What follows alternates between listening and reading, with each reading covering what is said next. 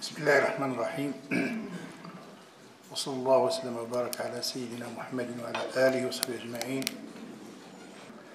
في هذا اللقاء أريد أن أحدثكم حديثا عن المذهب المالكي ولكنه حديث ليس كالطريق كالأحاديث التي نألفها في الوقوف عند جزئيات الأصول. فهذا أمر آخر. قد وفي الإخوة فيه بكتاب كتاب صغير كتبته عن شخصية الفقه المالكي وهو موجود على كل حال. ولكني أريد أن أربط بعض هذه الأشياء بشجون خاصة وبشيء مما يتصل بواقعنا نحن. لأن الفقه المالكي حينما يدرس أو تدرس هذه القضايا على أساس أنها هي قضايا في ذمة التاريخ يمكن أن يقبل عليها من شاء أو يتعالى عليها من شاء أو يرفضها من شاء. لا تأخذ قيمتها وحجمها الحقيقي. ولكن حينما نربطها بالواقع والفقه المالكي وقضايا الفقه المالكي وأصول الفقه المالكي لم تكن إلا قضايا من الواقع. فحينما نرجعها إلى محضنها الذي هو الواقع ونرجعها كذلك إلى الواقع الواقع الذي هو ما نعيشه الآن سوف نكتشف أن هذا الفقه المالكي شيء كبير في حياة الناس. شيء كبير في حياة الناس ويتوقف على فهمه وعلى الحفاظ عليه شيء عظيم من مستقبل المغرب. أريد أن أعرج على قضيتين لأنني أعتبر الآن أن كل شيء أصبح موضوعا للنقاش. هناك أناس ليسوا أصوليين ولا فقهاء ولكن تجري على ألسنتهم كلمات هي من صميم أصول الفقه أو من الفقه. وحينما لا يجيب عنها الفقهاء أو لا يتنبه إليه الفقهاء تختمل هذه الكلمة وتضخم في أذهان الناس ويصعب بعد ذلك تصحيحها فضلا عن اقتلاع اقتلاعها واجتثاثها. أسمع في هذه المرة وفي أحاديث يقولها ليس ليسوا متخصصين بعض المرات يتحدث بها أناس بعيدون بعيدون عن ميدان الفقه والعلم. مغنون مغنون. المغني ليس له وصلة بالفقه ولا بأصول الفقه ولا ولا بشيء يشبه هذا. ولكن يقول لك أنت من جعلك ومن نصبك وصيا على الإسلام وعلى الله؟ أنتم أيها الفقهاء من جعلكم هكذا نصبكم على؟ هذا سؤال يطرح الآن. ربما هو الآن سؤال هازل لا يعطيه الناس قيمته ولكنه سؤال يستحق أن يجاب عنه. ولذلك أي واحد يمكن أن يتحدث بما يشاء وله الحق أن يتحدث كما يشاء ولكن حينما تتحدث أنت من مرجعيتك ومن قولك قال الله تعالى وقال رسول الله صلى الله عليه وسلم يقال لك وبكل يسر وسهولة ومن نصبك أنت وصيا على الإسلام حتى تتحدث به. هل كلفك الله تعالى بأن تكون وصيا على العباد؟ هذا سؤال. والجواب عن هذا هو كالتالي.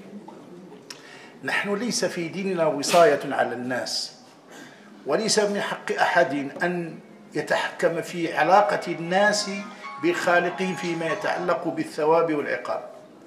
لم يرد في ألسنة الفقهاء أبدا الحديث إلا عن الصحة والبطلان في الأحكام الشرعية التي يتحدثون عنها. فهم غاية ما يقول الفقهاء في الصلاة التي لم تستجمع شروطها أو في البيع إنه صح إنه باطل. أو فاسد بحسب الاختلال في الركن أو في الشرط. هذا ما يقول. وإذا صلى الإنسان مستجمعا لتلك الصلاة قلنا إن صلاته صحيحة. لكننا لا نعدو أطوارنا ولا نقول إن صلاتك مقبولة. لأننا حينما نقول صلاتك مقبولة فقد تدخلنا في شيء ليس لنا. ولذلك نحن لا نحكم على إنسان بأنه من أهل الجنة ولا نحكم على إنسان بأنه من أهل النار ولا يحكم عند علماء المسلمين ولا يقضى لأحد من المسلمين بأنه من أهل الجنة إلا من ثبت في حقه شهادة رسول الله بأنه من أهل الجنة.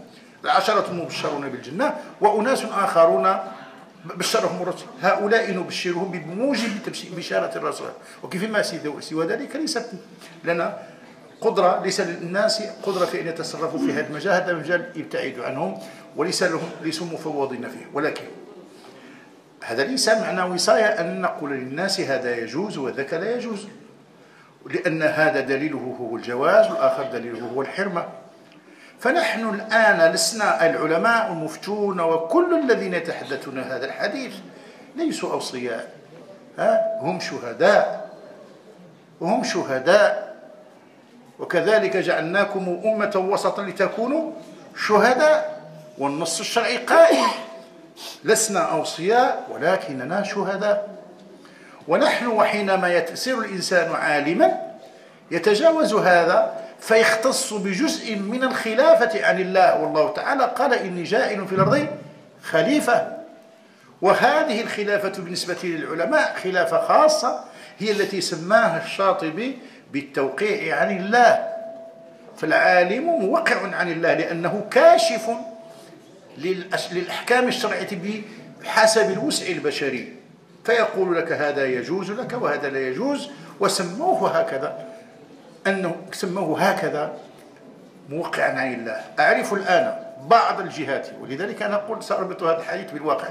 لا يغيضها شيء مثل ما يغيضها هذا الأمر أن يقال إن عالما ما هو موقع عن الله هذه ليست درجة الإكليروس ليست درجة دينية التي هي عن المسيحيين وإنما هي وظيفة داخل الشريعة مخولة لمن يستحقها. والقرآن الكريم أحال المرات العديدة على أهل العلم. فاسألوا أهل الذكر إن كنتم لا تعلمون. لعلمه الذين يستنبطونه منهم. وفي حديث رسول الله صلى الله عليه وسلم وفي حديث العسيف إن أهل العلم أخبروني أن على ابن كذا فكان هناك أهل علم وكانوا يخبرون ورسول الله حاضر. وكان الاستفتاء أولا للرسول صلى الله عليه وسلم يستفتونك. هذه العملية هذه العملية أريد التنبيه لها الآن أصبحت تستهدف بشكل كبير. قرأ كتب أحدهم في المدة الأخيرة يقول من الذي نصب المفتين حتى يتحكموا في رقاب الناس؟ هذا كله خلط للأوراق ومعنى أنه تجهيل وجعل الإسلام هكذا مفتوحا للجميع. ولكن حينما تصدر الفتاوى التي تريق الدماء وتستحل الدماء ينادون العلماء لما لم تقوموا بواجبكم حتى قال هؤلاء ما قالوا؟ فهم مرة مع إطلاق الفتوى بلا قيد ولا شرط ليدخلوا ومرة إذا تضرروا منها قالوا إننا نريد أن تضبط هذا الكلام وتضبط هذه الفضائيات فلا نعرف عن أي شيء يتحدث هؤلاء. لكن نحن بموجب انتمائنا إلى الشريعة الإسلامية نعرف أن وضع المفتي والمتحدث والمبلغ هو وضع شرعي له مرجعيته في كتاب الله وفي سنة رسول الله صلى الله عليه وسلم وأقول هذا ليكون جوابا نعده للسؤال حينما يطرح على شبابنا وعلى ولكنه يطرح الآن وعلى وسائل الإعلام والناس يفرحون بهذا ويتلذذون أصبح الكبير والصغير يقول كأن كلنا في حاجة إلى أهل علم ولا إلى مفتي كلنا على نقف من الشريعة ومن الله تعالى على حد سواء. هذا ضبطه. ثم هناك أمر آخر. هو هذا الأمر الذي يشيعه الناس من خارج الدائرة الإسلامية بل ومن الدائرة الإسلامية. وهؤلاء الذين يقولون إن كلمة المسلمين كانت موحدة كانوا مجتمعين ففرقها الفقهاء وفرقتها المذاهب. وإذا كان نحن نريد مذهب إسلاما بلا مذاهب كما كتب الشكع إسلام بلا مذاهب. إسلام بلا مذاهب. هو إسلام بكل المذاهب. لماذا؟ لأن طبيعة تفكير الإنسان في الأشياء التي يتناولها من, الأدبيات. أن الناس لهم رؤى مختلفة. وأرى شيئا وترى شيئا ويرى الآخر شيئا ويرى. فبأي حق إذا رأيت أنا رأي أن أقول للناس دعوا رأيكم من أجل أن نتوحد. فأنا أرى وأنت ترى والآخر يرى. وبالتالي فنشاط الإنسان دائما وتفكيره يؤدي إلى الاختلاف لا إلى إلى التنميط أتساءل هل الشريعة الإسلامية وحدها هي التي فيها هذه الظاهرة ظاهرة المذاهب؟ أبدا. في كل العلوم مدارس ومذاهب. في كلها. إذا تحدثنا عن النحو تعرفون نحو نشأ هو النحو الكوفي والمغاربة في البداية كانوا كوفيين من باب تعاطف مع علي بن أبي طالب. ثم صاروا فيما بعد بصريين والبصريون مختلفون مع الكوفيين في أن الكوفيين يقبلون بالشاهد الواحد وأن البصريين لا يقيمون القاعدة إلا على كثرة الأدلة. ثم كان هناك النحو البغدادي الذي جاء نحوا ثالثا وكان أبو علي الفارسي وكان ابن جني وكان هؤلاء من هذه المدرسة. ثم كان هنالك نحو آخر والنحو الأندلسي المغربي وهو نحو قائم بشخصيته أبو الحسين بن طراوة وابن خروف وهؤلاء لهم منهج وقد كتب فيه غير واحد من العلماء. إذا فالنحو فيه أربعة مدارس. الفنون فيها مدارس. الرسم فيه مدارس. القانون فيه مدارس. المدرسة الأنجلوساكسونية والمدرسة الفرنكوفونية إذا كل الدنيا فيها مدارس. لما يعاب على المسلمين الفقهاء أن يكون لهم مدارس. هذه ليست عبثا هذه مدارس هي حصيلة إعمال أصول معينة التقى عليها الناس فتكون الفقه في هذه المجموعات التي نسميها مذاهب ونسميها مدارس ونسميها ولكنها حصيلة اجتهاد ونظر وتفكير. فهل تضمن لي أن أننا نلغي؟ هل يضمن من يدعو إلى إلغاء المذاهب وبما فيها المذهب المالكي أن نصل إلى مذهب واحد؟ من سيتكلم ومن سيصغي؟ من يجب عليه أن يسكت حتى تبقى الوحدة قائمة؟ المذاهب هي الحد الأدنى للخلاف عند المسلمين. المذاهب هي الحد الأدنى ولكن حينما تزول المذاهب فحدث عن البحر ولا حرج. كل يصير مذهبا. والذين حاربوا المذاهب أقاموا بدلها مذاهب. فكنت تسمع عن الشافعي ومالك وكذا وكذا وأصبحنا الآن نسمع شخصيات أخرى إذا قيل, إذا قيل قال فلان تعرفون لا أذكر الأسماء فكأن الدنيا انتهت وكان كل شيء حسم لأن الإمام الأعظم في هذا. والفرق بين هذا وذاك فرق شاسع بين الشخص وبين الآخر فرق شاسع. أريد إضافة إلى هذا أيضا أن أقول. هنالك شيء تنبهت إليه هذه الندوة هذه بهذا السؤال. الخلاف الأصولي أسبابه ومبانيه هذا سؤال علمي. لا يطرح هذا السؤال في الخارج. في الخارج يسألون عن خلاف الفقهاء. لا يسألون عن خلاف الأصوليين لأنهم لا يعتبرون أن الأصول في ذاتها تختلف فبسبب اختلافها يختلف الفقه. أي الخلاف في الفقه ليس ذاتيا عرضيا. إنما هو ناشئ عن الاختلاف الناس في اعتماد أصول أو طرح أصول. والسؤال الذي يطرح الآن هو هذا وهذه بداية جيدة جدا حينما يطرح السؤال لتطويق الخلاف. في سنوات سابقة جاءني أحد طلاب يكتب رسالة عن أحد الذين يفتون كثيرا في في الدنيا. وقال لي أريد أن أن أذكر مذهبه في المسائل الفقهية. قلت له طيب إذا كنت تريد هذا فافعل. ولكن اشترطت اشترطت عليك شيئا واحدا وهو أن هذا الأقوال الفقهية أنا لا أسميها مذهبا إلا أن تقوم على قاعدة معينة من الأصول التي كان يعتمد هذا الشخص. لابد أن يذكر لنا ما, موقفه من مفهوم موافقة ومفهوم مخالفة. ما موقفه من القياس يعتمد أم لا يعتمد ما موقفه من قول الصحابي؟ ما لم يستطع إنسان أن يجيب عن هذه الأسئلة لن يكون فقيها ولو تكلم في الفقه ألف سنة. لو تكلم الإنسان ألف سنة في الفقه فنقول إنه يقول ما يعن له وقد يقول اليوم قولا يخالفه غدا لأن الأصل ليس هو أن يقول الناس في الفقه. الأصل أن يضبطوا المصادر التي هي مصادر استنباطية ويدافعوا عنها. الخلاف بين العلماء القدماء لم يكن حول الجزئيات الفقهية. كان حول مصدر وآخر.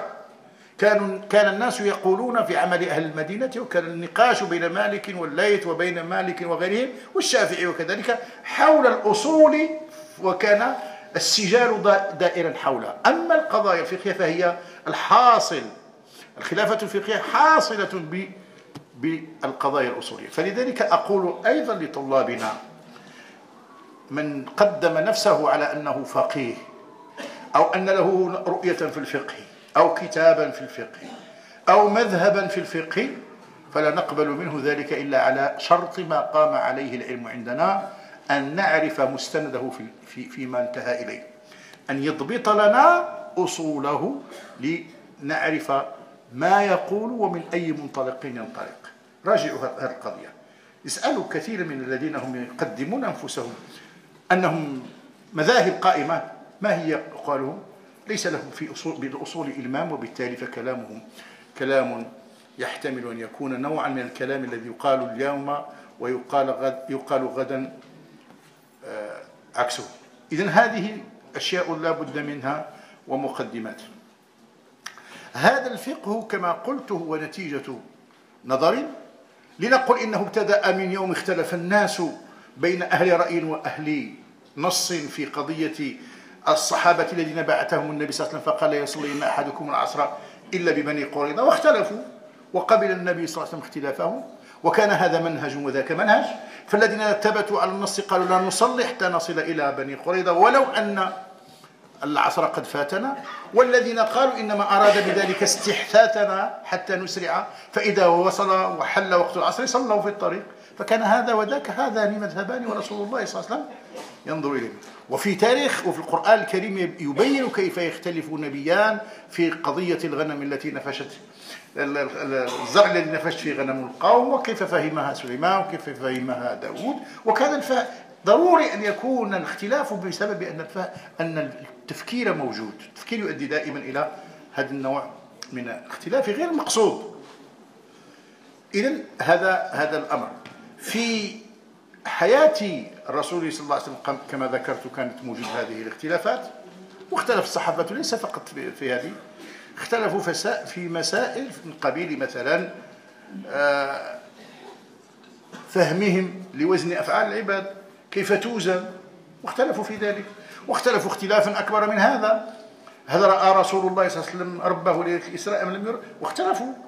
إذا فهذه اختلافات كما قلت مأذون بها بسبب أنها نتيجة تفكير. في هذا السياق نشأت أو بهذا السبب نشأت المجموعات الأولى للمذاهب. أي الصحابة وإن كانوا في المدينة المنورة كانوا يكونون ويشكلون مجموعات وعمر بن الخطاب كان له صحابة كان يستشيرهم وكان ينظر كان هؤلاء يكونون شبه نواة لاجتهاد ولفقه جماعي. كانت هناك مجموعات صغيرة مع أن الفقهاء الذين كانوا تكلموا في حياة رسول الله صلى الله عليه وسلم الذين ذكرهم غير واحد وأصل بهم إلى عشرة أو اثنى عشر, اثنى عشر ممن كانوا يفتون على عهد رسول الله صلى الله عليه وسلم ولكن أصبحوا فيما بعد يتميزون بمجموعات معينة بمجموعات وبكتل صغيرة ليست مذاهب ولكنها آه، بدايات مذاهب. حينما كان غادر النبي صلى الله عليه وسلم هذه الحياة كان كانت المدينة هي المركز. وكان في الصحابة أناس كثر لهم صلة بالفقه. وتفرق الكثير منهم. لكن عمر استبقى بالمدينة مئة وخمسين من كبار الصحابة من فقهاء الصحابة. ليبقى الفقه هناك حتى لا ينتشر بانتشار الناس. ومع ذلك فقد انتشر الفقه وذهب الفقهاء وكان ابن مسعود في الكوفة وكان غير واحد ممن انتشروا. فهذه الكتلة التي استبقاها عمر هي بداية فقه أهل المدينة. هؤلاء هم فقهاء المدينة. وحينما ذهب هؤلاء وجاء عصر التابعين بقي في المدينة مئة وسبعون من الفقهاء. هم فقهاء المدينة. قبل هؤلاء وأولئك كان كبار فقهاء الصحابة أم فقهاء المدينة وهم الخلفاء الأربعة وعائشة وهؤلاء وزيد بن ثابت هؤلاء أفتوا في المدينة المنورة.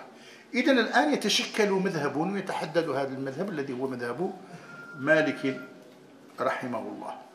وتشكلت مذاهب أخرى لأسباب هذا التشكل كما قلت له قاعدة علمية.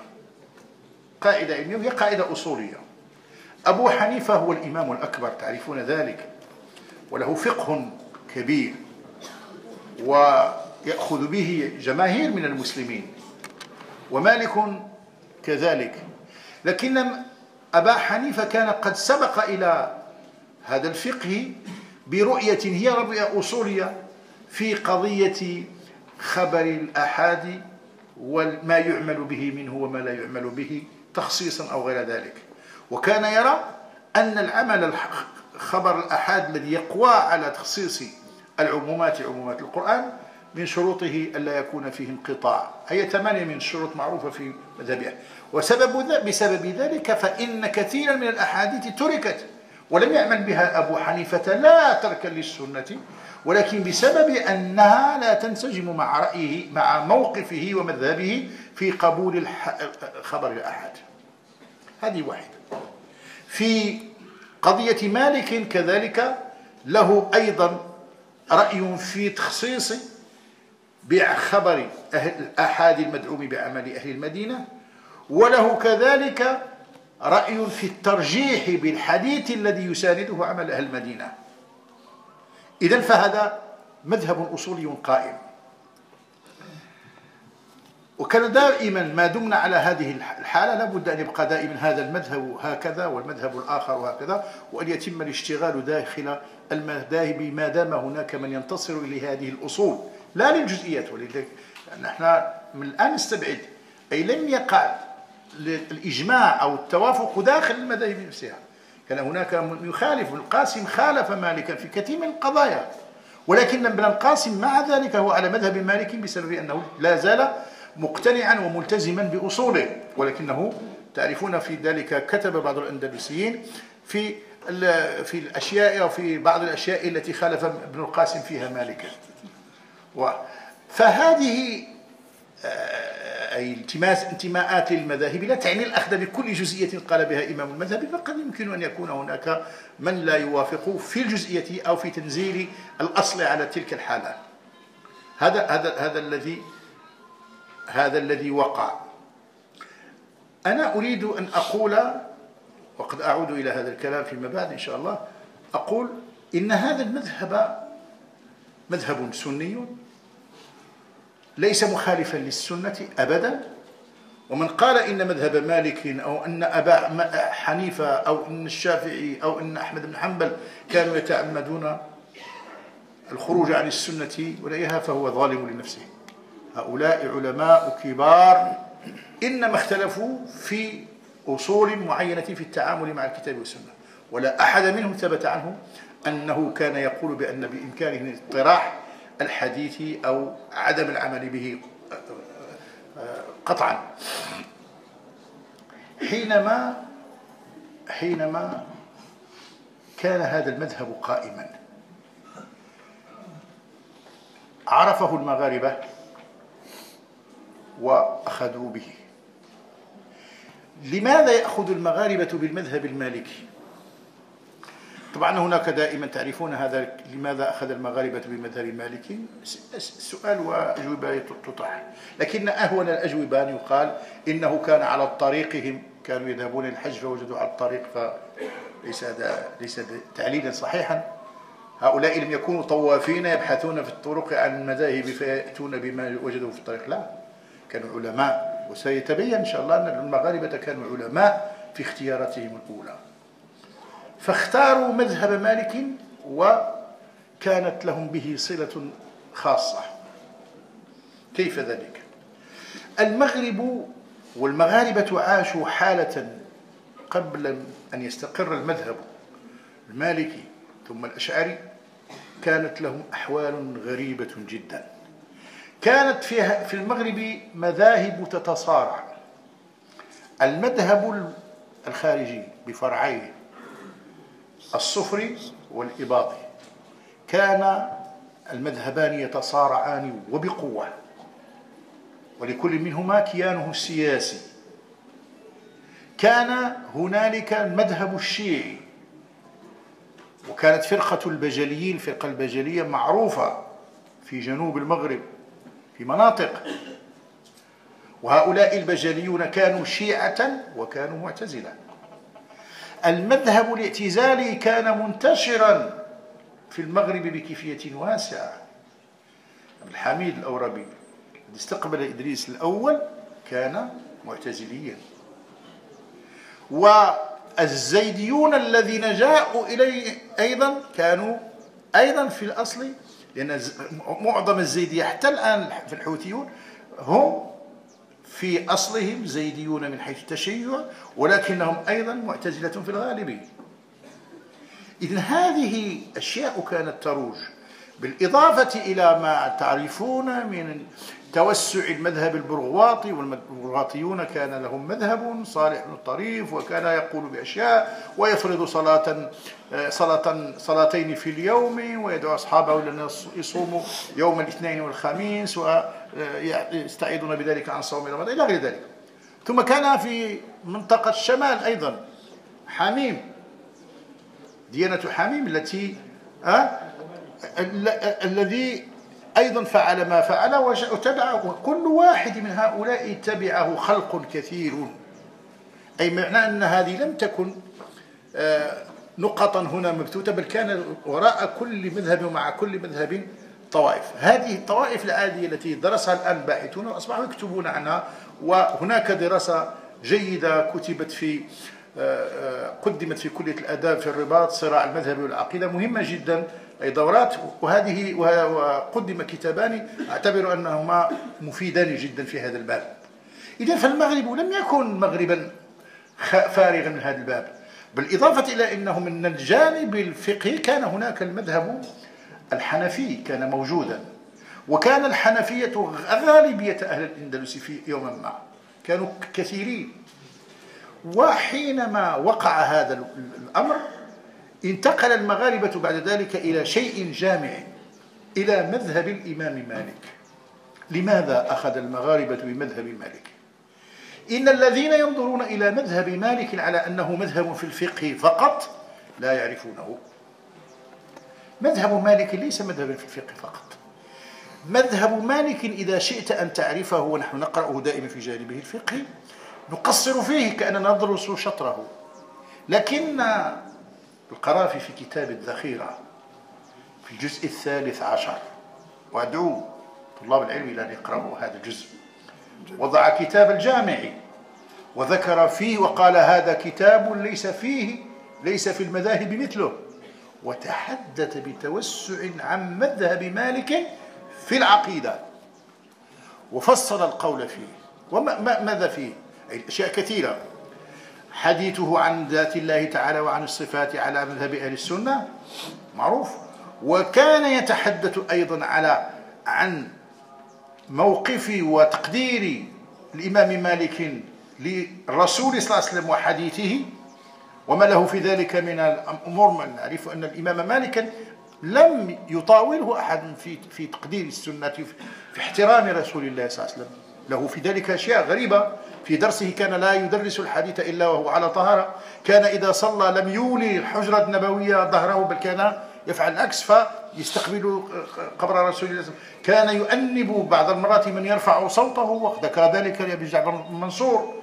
واستكان أبو جعفر في الخبر الذي تعرفون. فكان مالك شديد التمسك بأدبه مع رسول الله صلى الله عليه وسلم. كان لا يسير أو لا يركب على أرض فيها جثمان جسد رسول الله صلى الله عليه وسلم. كان قد بلغ الذروة في الأدب. كان لا يقبل أن يتحدث أن أن يحدث أو أن يسمع الحديث على طريقة لا تناسب الأدب. إذا هذه واحدة. لكن كان له شيء آخر وهو أنه كان شديد التوقير للصحابة رضوان الله عليهم. وكان يرى أن الصحابة شهد لهم القرآن بالعدالة وأن من تنقص الصحابة اعتبر فاسقا في مذهب أبي حنيفة في, مذهب مالك فهو فاسق. وقال أكثر من ذلك قال إنه لا يستحق شيئا من فيء المسلمين. وأن لا يستحق الإنسان الفيء معناه أنه كأنه خارج دائرة. لأنه أجرى على ذلك الأحاديث أو الآيات القرآنية التي تتحدث عن فئات المؤمنين. هؤلاء الذين تحدث عنهم القرآن هم ثلاث فئات أي المهاجرون الأولون تحدث عن الذين تبوا الدار ولمن من قبلهم ثم تحدث الذين جاءوا من بعدهم يقولون ربنا اغفر لنا ولإخواننا الذين سبقونا. بلمن نجعل في قلوبنا غل الذين آمنوا. قال هذا الذي يسب الصحابة ويتنقص منهم ليس من الأولين ولا من المتوسطين ولا من المتأخرين فهو ليس منهم ولذلك لا يستحق ولذلك كان له كلام في في في في في, في النيل من الصحابة هذا إذا لم ينل من عائشة. أما من كان من نال من عائشة فهو في في مذهب مالك ليس فاسقا بل هو كافر. والفرق بين عائشة والصحابة أن عائشة عدلها القرآن باسمها في قضية الإفك. أما الصحابة فتعديلهم عام. هذا هو هذه عقيدة مالك. إلى غير ذلك من الأشياء. كان مالك يرفض الابتداع العقدية ويتشدد فيه. وكان دائما ينشد وخير الناس وخير خير أمور الناس ما كان سنة. وشر الأمور المحدثات البدائع. كان يرددها. وكان يسأل عن سئل عن المبتدعة هل يصلى خلفهم؟ قال لا أحب ذلك. قال هل يصلى خلف المبتدع الجمعة؟ قال الجمعة فريضة. وقد يقال في الرجل ما ليس فيه. قال إن استيقنت. قال إن استيقنت. أي إن استيقنت أن هذا الشخص الذي يقال فيه أنه من أهل الابتداء فلا تصلي وراءه ولو صلاة الجمعة. وهذا معروف في المصادر الإسلامية. فكان متشددا في في في في هذا الأمر. الذين أخذوا عن مالك أخذوا عنه هذا مثل ما أخذوا عنه الفقه. فحينما استقر المذهب المالكي في المغرب استقر فقها وعقيدة واستقر في ما استقر في المغرب أنهم أبغضوا أن المغاربة لم يكونوا يحبون الابتداع أصلا. أين هو التشيع الذي جاء؟ الذي كان موجود انتهى. أين هي الإباضية؟ حسموا معها. أين هي الخارجية؟ حسموا معها. وكان المالكية قائمين على هذا الأمر وكان في سحنون وسعيد التنوخي في في في في تونس في القيروان كان لا يولي مبتدعا ولا يسمح له بإلقاء درس ولا يجعله من أهل القضاء. فأصبح المالكية في هذا الأمر إن شئنا قلنا متشددين وشئنا أن يقول الناس ما يشاءون لنا الكلام هنا يقول اللي بغيت. ولكن الذي وقع أنه في مرحلة من المراحل قامت الدولة العبيدية الشيعية في, في, في, في تونس وذكر القاضي عياض رحمه الله أن تونس كان فيها الحنفية وكان فيها المالكية. أما الحنفية فإنهم كأنهم سالموهم لأنهم اشتركوا معهم في قضية واحدة هي قضية أفضلية فاطمة لأن أبا حنيفة كان يفضل فاطمة على كل نساء المؤمنين. فجاءت الدولة الدعوة الفاطمية وهم يحبون فاطمة كأن فيها نوعا من انسجام في حين أن المالكية كانوا يفضلون عائشة. ولذلك كانت هناك صراعات. المذهب الشيعي الفاطمي في في في في تونس لقي مواجهة ومقاومة من الفقهاء المالكية. وذلك حينما أرسل رسول إلى أحد العلماء يقول قال لك الأمير عليك أن تترك القنوت لأنه من فعل عمر. وعليك أن تثني الإقامة وعليك أن تسلي مرة تسلم مرتين. قال الأمير لا يعلمنا ديننا. وذكر القاضي عياض في ترتيب المدارك في الجزء الخامس منه وصف كيف قتل بعض العلماء المالكية لما رفضوا ما كان يأمر به الفاطميون. وكان أحدهم يقول إن بيعة أبي بكر صحيحة لأن عليا كان يقيم الحدود بين يديه. فقتل ابن هديل وقتل العلاف بسبب هذا القول وذكر آه، وذكر كذلك غير واحد من العلماء هذه الأحداث في تاريخ هذه. إذا هؤلاء الذين كانوا هنا من المالكية كان لهم هذا هذا الوصف. هناك شيء ذكره خليفة أموي وهو هشام بن عبد الرحمن وذكر هذا الكلام ذكره القاضي عياض وعاده كذلك وتحدث عنه الونشيريسي وقال إن هذا الأمير هشام بن عبد الرحمن كان قد درس ونقب عن الرجال وقرأ ثم قال إني نظرت في الرجال. فوجدت أن هذا المذهب رجال هذا المذهب لم يعرف أحد من المالكية بالإرجاء ولا بالإعتزال ولا بالخارجية ولا بالتشيع. ولذلك كان المالكية القدماء ليس موصوفا واحد منهم بأنه كان معتزلا. ولذلك قال إن الأخذ بهذا المذهب هو أخذ بالسنة. ما الذي يقع الآن؟ وما الذي وقع؟ حينما ننظر الآن إلى بعض الأوضاع الإسلامية الآن في الدول الإسلامية المتعددة نجد أن المذهب المالكي حقيقة حسم مع المغرب. لما لا تقع الآن تلك الأحداث التي تقع الآن في سوريا ولا في العراق ولا في اليمن ولا؟ ما جاتش صدفة. لأنه ليس في هناك مذاهب من هذا القبيل. ليس هناك طوائف حتى تقتتل ويحمل بعضها السلاح ضد بعض. والذي فرغ هذه الساحة وجعلها موحدة هو هذا الأمر. أذكر لكم شيئا آخر. إذا المالكية المذهب المالكي حينما يكون موجودا وهو مذهب سنة بالتأكيد يحمي الأرض ويمنع من التشتت ويمنع من أن تنتشر هذه الطائفيات. وبعض بعض الناس أصبح الآن يحس بهذا. هؤلاء الذين يصبحوا يتحدثون من وراء حجاب ليقولوا للمغاربة كيف يحصل لديكم في تدينكم استقرار؟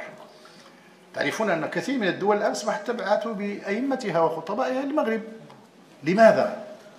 تونس تبعث تونس مدينة علم دولة كانت فيها علم تبعث برجالها. فرنسا الآن بعثت بوعاظها ومرشد. كل الذين لم يكونوا يقولون كانوا يقولون إن التدين المغربي فيه شيء من الهدوء فيه شيء من الاستقرار. والناس أصبحوا يفرون إلى هذا إلى هذا النموذج بعد أن أصبحوا يرون ما يرون في الشاشات. والناس أصبحوا يتخوفون. بعث إلي بعث إلي أحد الإخوة العلماء منذ مدة وهو الشيخ عبد الرحمن شيبان رحمه الله. كان رئيسا لجمعية العلماء بالجزائر. ووقعت الأحداث الكبرى في الجزائر كما ترون. وقتال وكذا. ثم بعث هذا الشيخ إلى وجدة. بعض الأشخاص يقول لهم نريد أن تذهبوا إلى المدارس في المغرب وتنقر برامج التدريس والكتب الدراسية. على هذا جاءني شخصان. وقال الشيخ عبد الرحمن شيبان رحمه الله قال إننا لم نؤخذ في الجزائر بهذه الفتنة إلا بسبب تركنا لمذهب مالك. لأنك حينما تترك المذهب ويكون قد وهو يملأ كل شيء تزيله وتجعل الأرض كلها مستباحة. إذا قلت لا مذهب مشى مذهب مالك. ما غاديش يجيك شي مذهب واحد غادي يجيوك 20 مذهب. منطقيا. ما يمكنش تقول أنا ألغي مذهب مالك وسوف اعوضه بمذهب اخر ابدا. مذهب مالك قائم والناس يعرفونه بمصادره. سيأتيك من أقطار الدنيا مذاهب لا تعرف لها صورة ولكن تعرفون من يفتي الآن بأن الزكاة لا تجب في الأوراق المالية؟ هؤلاء هؤلاء مذهب. تعرفون من يقول إن صلاة المسلمين باطلة لأنهم لا يصلون إلى القبلة؟ هذا مذهب. أي حينما ننشر في الناس هناك من يطوف في الناس يقول الناس أيها الناس احذروا أنتم لا تصلون إلى القبلة صلاتكم باطلة. هناك من يقول للناس أيها الناس إن المساجد التي بنيت في العالم الإسلامي كلها هي مساجد ضرار ولا تصح الصلاة إلا في أربعة منها هي صلاة صلاتك في المسجد الحرام المسجد النبوي المسجد قباء والمسجد الأقصى. والمسجد الأقصى ماشي في الدين وهل وهل ننتظر أن العالم الإسلامي كله سيصلي في هذه الأماكن؟ الله أعلم بذلك. هذا فقه. هذا فقه موجود موجود كتب موجودة. أتدرون ما هو المجهول الذي نفتح عليه أنفسنا؟ الفقه المالكي جزء من المدارس السنية ليس الوحيد ولكنه يجمع الكلمة. الفقه كيفما سواء كان فقها مالكيا أو حنبليا أو شافعيا أو حنفيا هو فقه ظني.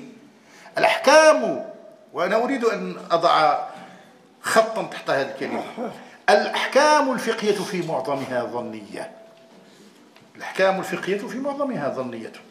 التي قامت على المذاهب ما كان منها قطعي هو ما كان قد أتى عن طريق التواتر أو شيء يقارب هذا التواتر. ولكن هذا قليل. بل أقول شيء آخر. الدنيا أي في فقه في في عمليات الدنيا هناك شيء أو ما يعتمده الناس هو الظن ليس القطع.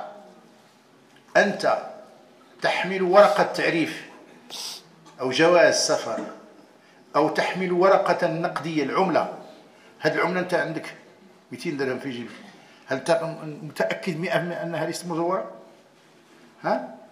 إيه، الله أعلم وأنت تبيع إذا بغيت تكون قطعية عمرك ما تكون في عندك شيء شيء الأحكام القضائية تصدر ظنية ولا لا؟ ظنية لماذا أقول لكم هالشيء؟ لأن بعض الذين يلبسون على الذين لا يفهمون الشريعة كلما وقع نقاش في أي قضية يقول لهم واحد السيد هذه القضية لا ماشي مهمة هذه قضية غير ظنية. إذا بغيت تقلع الظنية قلع كاع الفقه وقلع الدنيا كلها أحكام المحاكم والعملة والورق التعريف كل شيء ظني إذا كان كل شيء ما يصلحش بمعنى أن لا شيء يثبت. انتبهوا لهذه قضية الظني إذا أرادوا أن يضربوا شيئا من الشريعة قالوا الناس حينئذ يصفقون كأنهم اكتشفوا جزيرة أخرى.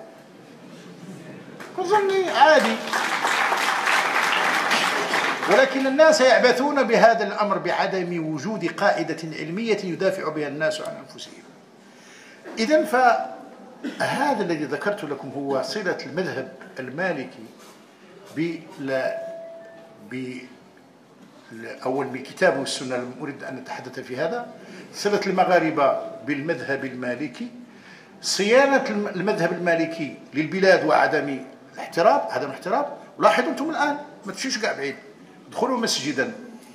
فترون أن الناس يخاصم بعضهم بعضا في أشياء ظنية. لا سيدي هذه كذا إحنا ما تصليش معنا ما نصليش معكم ما تصلي أنت مع هذا ولا مع هذاك. غادي تصلي مع شي واحد اخرين من أين جاء هؤلاء الذين أخذوا الأرض فجأة؟ جاءوا والمسلمون في غيبة. كانوا يختصمون في أشياء ظنية لا يمكن أن تحسم لا اليوم ولا غدا. لكن ما هو قطعي هو المحبة بين المسلمين المؤمنون إخوة. المؤمنون يتعاونون ويتضافرون ويتآزرون. هذا ليس فيه نقاش. وهذه الأشياء الأخرى شيء شيء عادي. فلذلك نحن في هذه المعاهد في معاهدنا التي الحمد لله تنطلق من جديد وتعد بشيء نريد أن يدرس الناس العلم ويدرسوا الأصول. العلماء الذين يدرسون الأصول هم مؤصلون وثابتون وراسخون ويعرفون ما يقولون. الذين يأخذون الإسلام عاطفة وكلاما عاما قلما يحسنون إلى هذه الأمة وسيورطونها في مهالك. آه، لا أريد أن أذكر لكم شيئا عن صلة الكتاب المذهب المالكي بالكتاب كتاب الله تعالى كيف يستقيم وكيف يكون له مرة موقف يخصص به مالك عموم العموم في الآية القرآنية ومرة أخرى لا يخصصه. كل ذلك بسبب أن المخصص قد يكون حديثا آحاديا إما مسنود مسنودا بعمل أهل المدينة فيخصص به أو غير مسنود فلا يخصص به. هذا فيه أبواب كثيرة ولمالك كذلك شيء من عمل أهل المدينة يعتمده في الترجيح بين الأحاديث الأحادية التي هي أحاديث ضمنية فيقوي لأن تقوية الحديث الضمني له أسلوب والعلماء والأصوليون ذكروا نحو من خمسة عشر أسلوبا لتقوية الحديث الآحادي أي لا يترك ولكن مما يقوى به الحديث الآحادي عند مالك أن يصاحبه العمل والعمل الذي يقوي القول ويقوي المذهب ليس قولا لمالك فقط بل إن عمر الخطاب كان يفتي, الناس بأن لا يقولوا شيئا ليس عليه العمل وكان عمر بن العزيز يقول ذلك. وكان كثير من الصحابة يخرجون إلى الآفاق ويسألون فيجيبون. فإذا جاءوا إلى المدينة فوجدوا العمل على غير ذلك فيعودون ولا يفعلون شيئا قبل أن يصححوا القول الأول لأن هذا القول حسم فيه أن الآلاف من أهل المدينة قد استمروا على ذلك العمل فعلم منه كما قال كما قال الشاطبي إن الناس كانوا دائما يبحثون عن الناسخ والمنسوخ لكن مالك ضبط له الناسخ والمنسوخ لما أخذ بعمل أهل المدينة وقد وقد يكون عمل المدينة آخر ما رآه رسول الله صلى الله عليه وسلم في نهاية عمره ورأى الناس يعملون به وأقرهم عليه فيكون ذلك هو الوجه الصحيح. في مقابل نصوص أخرى قد يعتريها ما يعتريها من نسخ أو من أنها عامة يراد بها الخصوص أو أنها من قضايا الأعيان وما أشبه ذلك من الشيء الذي لا أريد أن أتحدث فيه الآن لأنه سيدقل ولكنني حدثتكم عن علاقة المذهب المالكي باللحظة بالحدث بما يقع في جهات كثيرة. أريد أن أضيف بجزئية أختم بها. حينما جاء كانت الأوضاع على هكذا على هذا النحو الدولة الغير موجودة في المغرب. جاء إدريس الأول إلى المغرب. جاء لاجئا من المشرق بعد معركة فخ ثم استقبله المغاربة استقبله عبد الحميد الأورابي وذكرت لكم أن عبد الحميد الأورابي كان في الأصل على معرفة بدينه وكان معتزليا واستقبل مولاي إدريس ولكنه استبقاه في بيته أو بقي معه نحو من ستة أشهر. لم تكن هناك بيعة ولا ولا شيء لأن المغاربة كان كل واحد منهم يريد أن يكون زعيما ويكون أن يكون سيد قبيلة ولكن أن يأتي إنسان غريب وهذا شيء من ذكاء المغاربة. هذا لم يقع إلا للمغاربة الحكم الناس يموتون من أجل الحكم لكنهم أعطوا حكمهم لرجل جاء من بلد بعيد ولا يعرفونه إلا لمدة قصيرة بمعنى أن كان إخلاص. هم ما كانوش متعلقين بالسلطة كانوا, كانوا متعلقين بالأمن. فقالوا هذا الذي نجتمع عليه. لكن لماذا؟ لماذا قبل المغاربة بهذا؟ المغاربة في ذلك الإباء كانوا فقهاء كبارا. كانوا فقهاء كبارا. لماذا؟ لأن إدريس الأول وقد جاء فإنه جاء يحمل بيعة أخيه محمد النفس الزكية. وهؤلاء هذا البيت كان قد طورد في المشرق وقتل منهم من قتل وخرج. إدريس الأول يحمل بيعة أخيه البيعة الشرعية بيعة محمد بن زكية. كان عامة المذاهب العلماء ومنهم الإمام مالك كان يرى أن بيعة محمد النفس الزكي هي البيعة الشرعية في مقابل بيعة العباسيين. فحينما جاءهم إدريس الأول بالبيعة التي قال عنها المالك مالك وقال غير مالك عنها بيعة شرعية أخذوها والتزموها. فكأن الدولة التي تشكلت أول مرة الدولة الإدريسية تشكلت من البيعة الشرعية الأولى التي شهد لها مالك. وكأن مالكا بهذه الفتوى التي كان قد قالها هو طبعا في سياق آخر كان بقوله ذلك قد ساعد على تكوين الدولة المغربية. ولذلك حينما كان ذهب إدريس الأول وجاء إدريس الثاني استقدم خمسمائة من الفرسان من الأندلس وكان منهم فقهاء وبعض هؤلاء الفقهاء استقضاهم إدريس الثاني وبعضهم كان هو الذي شهد على عقد شراء أرض فاس إلى غير ذلك إلى غير ذلك من الوقائع بمعنى أن المغرب منذ المرة الأولى عانق المذهب المالكي لهذه الأسباب. المذهب المالكي شهد بالبيعة الشرعية لإدريس الأول والمغاربة عرفوا قيمة هذه الشهادة وهذه التزكية من الإمام مالك ومنذ ذلك الوقت أصبح المذهب المالكي مذهب الأمة وأصبح الناس ينتجون من داخل المذهب لا من خارجه.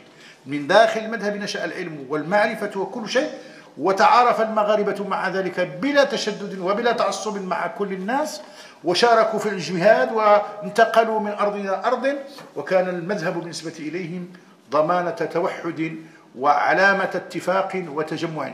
هذا شيء أذكره ليتأمل وليعرف وليعلم الناس أن أمر مذهب تلتقي عليه الأمة ليس من السهولة اقتلاعه لمجرد المغامرة أو لمجرد التجريب أو لمجرد فكرة غير ناضجة.